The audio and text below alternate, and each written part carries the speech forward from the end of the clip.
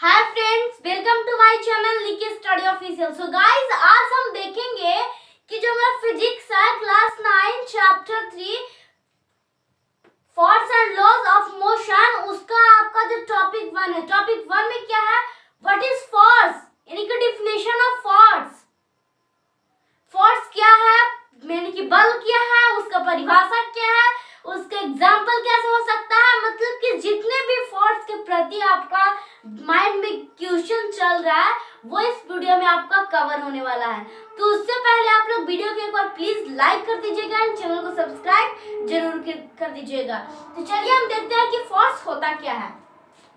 तो force is an external agent or cause capable of changing the state of rest or motion of a particular body on a planet मतलब कि बोल रहा है कि एक ऐसा बॉडी जिसको चेंज करने के लिए क्या एक्सटर्नल एजेंट और काउज हो उसी को हम लोग क्या कहते हैं? फोर्स कहते हैं। मान लीजिए कि हाँ वो क्या बोले कि ऐसा कोई भी बॉडी ऐसा कोई भी चीज़ जिसको चेंज करने के लिए एक्सटर्नल एजेंट और कॉज हो, उसी को हम लोग क्या कहते हैं? फोर्स कहते हैं। लेकिन इससे पहले देखिए, इसको हम लोग स्टॉक में कर देते हैं अभी। क्योंकि ये बहुत ज़रूरी है, इसको हम बाद में देखेंगे। लेकिन इससे पहले देखिए कि जो आपका टॉपिक वाला वीडियो था, यानी कि टॉपिक नेम बता रहे थे, उसमें हम आपको बताए थे कि पुश और पुल कि पुश एंड पुल ही आपका क्या है? फोर्स है। जी नहीं, ये नहीं है। क्योंकि मान लीजिए कि एक ये दरवाज़ा है। ठीक है? डोर इस दरवाजे को खोलने के लिए बॉय वन है और इसका दोस्त बॉय टू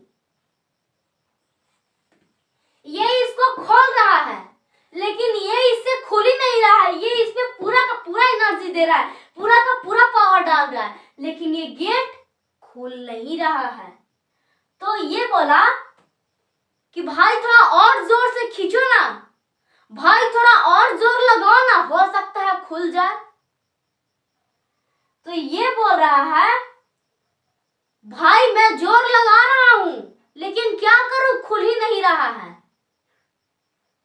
तो ये बोला कि तुम हटो, मैं इसको ट्राई करता हूँ। लेकिन जो यहाँ पे हम वर्ड यूज़ कर रहे हैं, ज़ोर लगा रहा हूँ। ज़ोर क्या है? तो ये भी एक आपका फोर्स है, यानी कि बल लगा रहा हूँ, लेकिन खुल ही नहीं रहा है।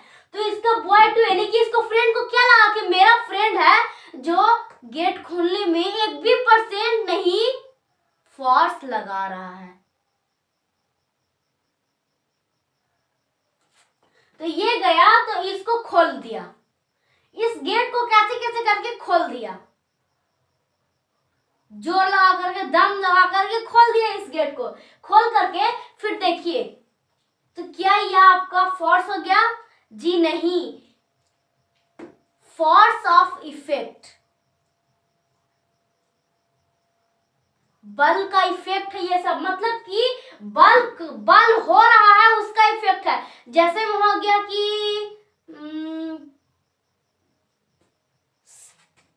वॉकिंग स्ट्रेचिंग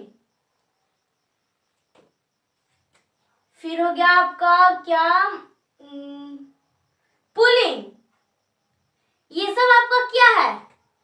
तो ये फोर्स ये आपका इफ़ेक्ट है। किसका? तो फोर्स का। इससे हमें ये सब होने से या फिर ये सब करने से हमें ये पता चलता है कि फोर्स यानी कि बल हो रहा है। हमें इससे यही पता चलता है। तो क्या आप पुश एंड पुल आपका फोर्स है। तो आप कहेंगे कि जी नहीं, ये क्या है? ये एक इफ़ेक्ट है। पुलिंग पुशिंग क्या ये सब ये सब एक आपका इफ़ेक्ट है? तो हम आपको ये बता दिए थे कि बल होता क्या है, और ये भी बता दिए थे कि पुश एंड पुल है जो आपका फोर्स नहीं है। हम यहाँ तक तो जान ले यहाँ तक तो किसी को प्रॉब्लम नहीं होना चाहिए। फिर हम बताते हैं कि फोर्स हैज़ डायरेक्शन क्या आप लोग नोट डाउन कीजिएगा फोर्स हैज़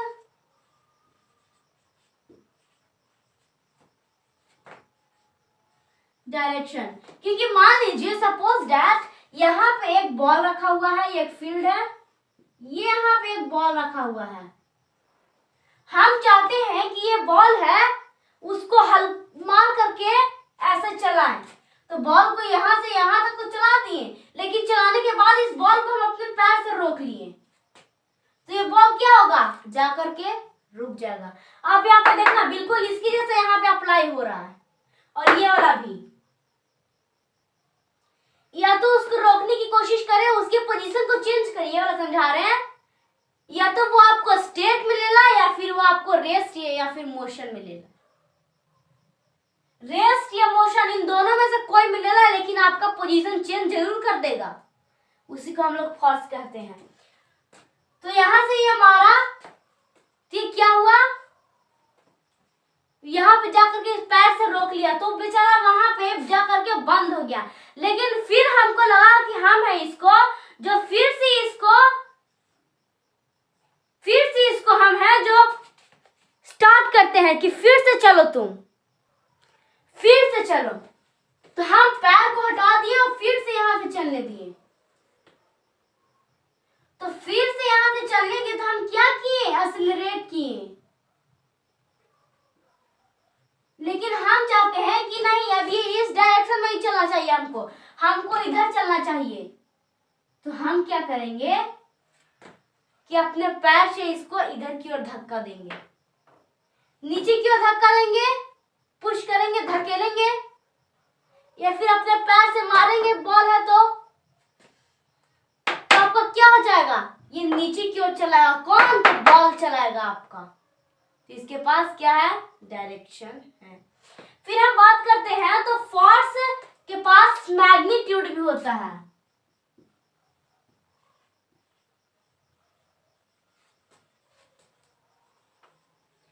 क्या मैग्नीट्यूड अगर आप लोग भूल गए हैं तो हम ये आपको याद दिला देते हैं कि चैप्टर टू था, यानी कि मोशन वाला चैप्टर था। उसमें हम आपको बताया थे कि मैग्नीट्यूड होता क्या है।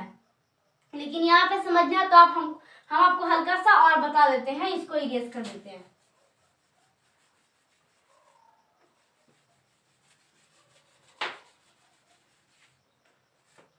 ये एक ब्लॉग है।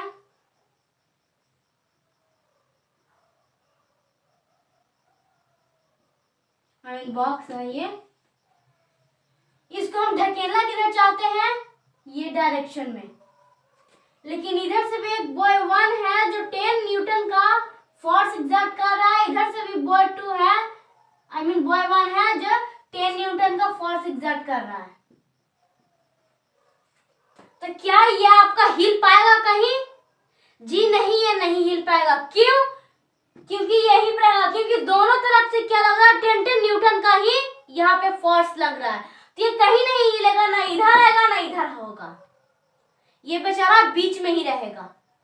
लेकिन हम मान लीजिए इधर वाला काम कर देते हैं। थ्री न्यूटन कर देते हैं। तो खसकाएगा किधर? खसकेगा किधर तो इधर चल जाएगा। हम ले जाना चाहते हैं किधर तो इधर चाहते हैं।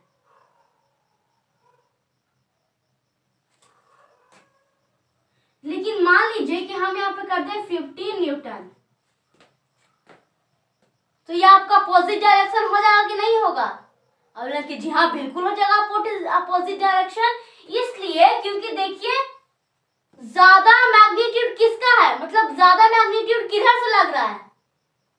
इधर से, यानी कि अपोजिट डायरेक्शन से लग रहा है। तो ये अपोजिट डायरेक्शन में ज़्यादा धकेलाएगा मतलब पुश होगा। सही डायरेक्शन हो तो ज़्यादा पुश नहीं होगा। लेकिन अगर हम इसको पंद्रह है तो हम इसको क्या कर दें? ट्वेंटी न्यूटन कर दें। तब मेरा ये सही मैग्नीट्यूड लगा है और मैग्नीट्यूड के साथ साथ मेरा सही डायरेक्शन में भी ये जाएगा। जाएगा कि नहीं जाएगा? बिल्कुल जाएगा। फिर अगर हम बात करें तो फोर्स है जो स्केलर क्वांटिटी है, और फोर्स का जो ऐसा यूनिट होता है, वो होता है कैपिटल इन कैपिटल इन होता है, यानी कि न्यूटन। सो गाइस यही था मेरा आज का टॉपिक यानी कि डिफिनेशन ऑफ़ फोर्स आपको जो नहीं समझ में आया है, वो प्लीज़ आप कमेंट कर दीजिएगा। हम आपका जितना भी डाउट है, वो सब आपको क्लियर कर देंगे। थैंक्स अगली वीडियो में, यानी कि टॉपिक टू में हम पढ़ेंगे type of force note down जल्दी से कर लीजिए आप लोग।